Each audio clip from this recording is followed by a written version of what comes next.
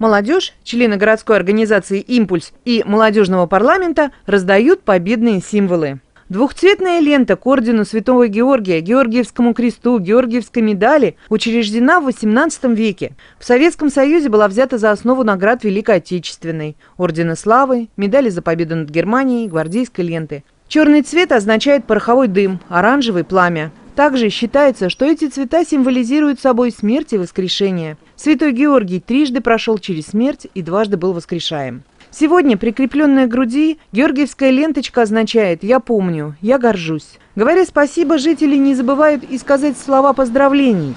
Ветеранов поздравляю всех. Всем спасибо за великую победу. Эти люди, ну, больше таких нигде нет. Они самые особенные. Спасибо. Спасибо. Всего в первый день акции «Георгиевская ленточка» раздали полторы тысячи лент. В ближайшие дни акция продолжится.